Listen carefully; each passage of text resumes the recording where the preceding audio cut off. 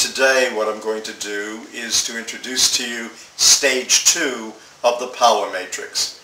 As I mentioned to you in the first discussion of the power matrix principle, there are three stages to this principle, each of which is of an increasing degree of difficulty.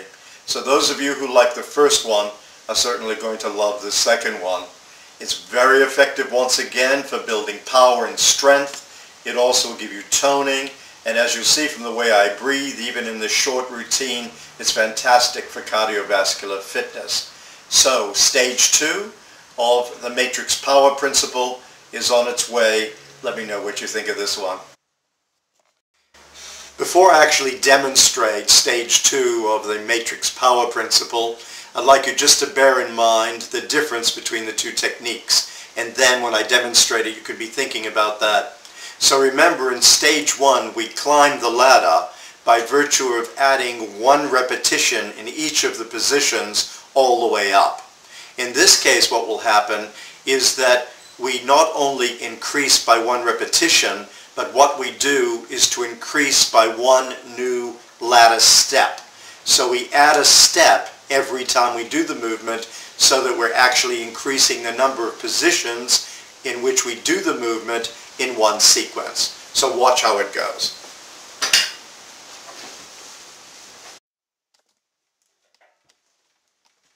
Once again, we'll start off with seven repetitions, taking nice and slowly down, full stop to the top. One, two,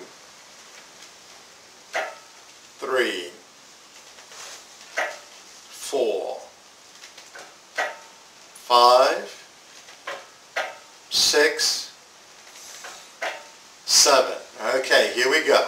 Stage two, matrix power principle one-fifth, and one repetition. This is the second round, so it goes one-fifth, twice, because it's the second round, and then two-fifths twice, because it's the second round, and then two full. One, two. Now watch, here we go to the third time round. One, two, three, and then three two-fifths. One, two, three, and now we're going three-fifths. One, two, three, and three full. One, two, three.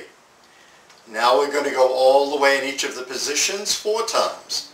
One, two, three, four, two-fifths, one, two, three, four, three-fifths, one, two, three, four, and four-fifths, one, stop at the bottom, three, four, and finally to the top. And what happens here is that we come halfway down, hold, five, four, three, two, one. Now from the bottom position to complete the sequence, we're going to go five reps half up. One, down, two, down, three, down, four, down, five. Down and go to the top. Halfway down, dead stop. Half, up. Half, up. Stop half, top stop. Half down, top stop. Half down, top stop.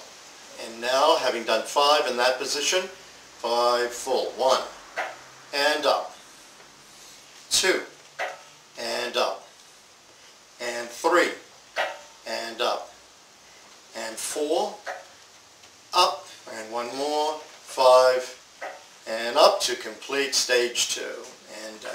There we go.